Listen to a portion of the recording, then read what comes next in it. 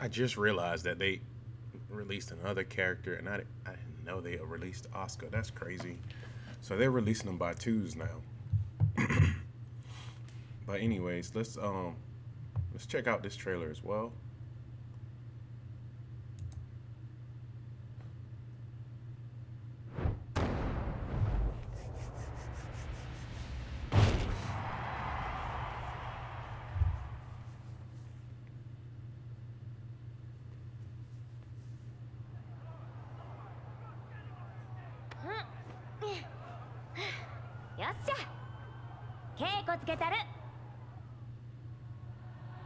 Get ready for the next battle. Section 8. New challenger. She got the bicycle from Tekken 5.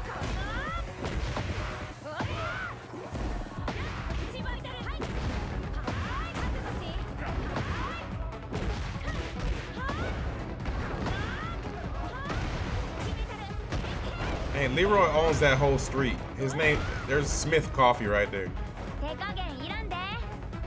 I like that line.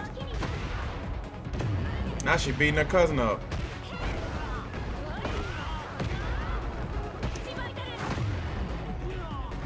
She fights different than Jun.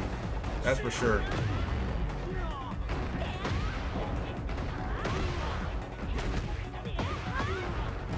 She still got that Kazama style in there, but it's different.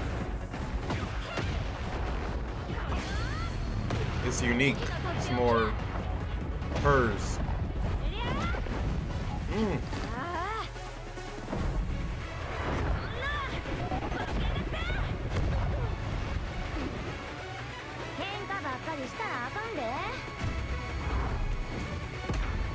You could tell the characters that don't have any like special powers or anything.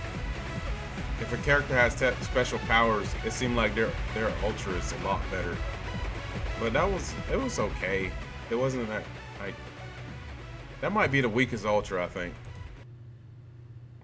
Um, it started out good. She kicked him up in the air, then she like punched him into the ground, but they had to do it like in three takes because there's really not much to it. So they had to like replay it three times.